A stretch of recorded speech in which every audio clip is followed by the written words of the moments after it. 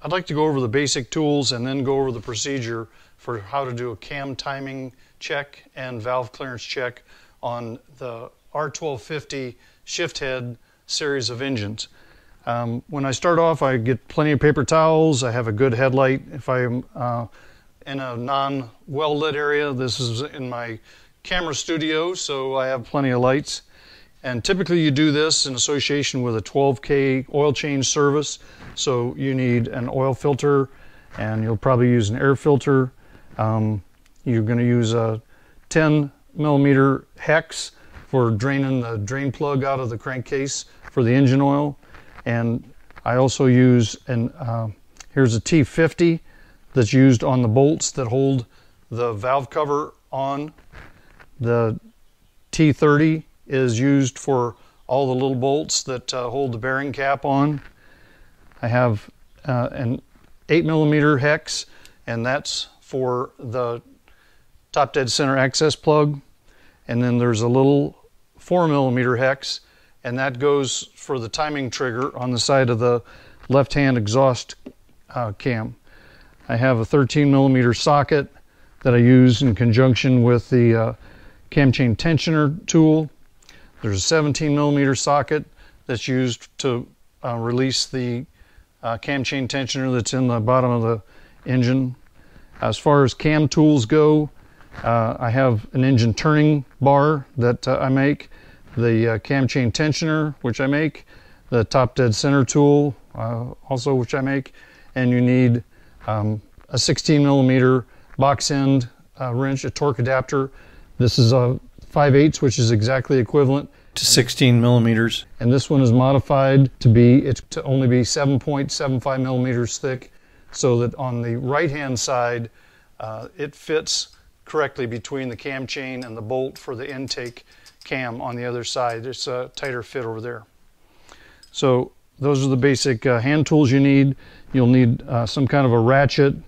Uh, you'll need a spark plug coil puller and a spark plug socket for taking out the spark plugs. Uh, you'll replace the spark plugs in a 12K service with the LMAR8 AI-10 for the 1250. When you get to do the valve um, clearance checks and you have to measure the clearances, you'll need a, some kind of a magnet to get the shims out of the behind the follower and the valve tip. You need a set of feeler gauges. This is a set that uh, I have two sets, two parts of these. This is the intake set. It goes from um, 0.1 millimeters to 0.17, and I have the set for the exhaust, which goes from um, 0.30 up to 0.42. Um, you'll need crush washers and gaskets and things like that. For the shift head engine, you would need, uh, this is a 20 by 24 aluminum crush washer for the drain plug. You need a 16 by 20 aluminum crush washer for the uh, top dead center access plug. You'd need a couple of these uh, O-rings. Um, these are 17 by 3 millimeter um, O-rings that uh, seal the cam tensioner. I have a complete um, set of crush washers for all the series of engines. You'll need a torque wrench that goes uh, up to 65 newton meters to tighten all the bolts on the end of the cams where the timing gears are if you have to adjust them. You'll need a smaller range. This is an inch pound uh, torque wrench in 3 eighths that I use for torquing anything that's below 15 newton meters. Uh, that's in the lower 20% of this larger torque wrench, so I don't use it. I use a torque wrench that, that uh, anything in a 15 newton meter or below range is not in the bottom 20% of the scale of a torque wrench. Uh, you need the cam alignment jigs. This is a set, these are a pair. Um, this one goes on the, this side of the engine. This fits on the left-hand side of the engine, and this one fits on the right-hand side of the engine. They're a mirror, mirror set of each other.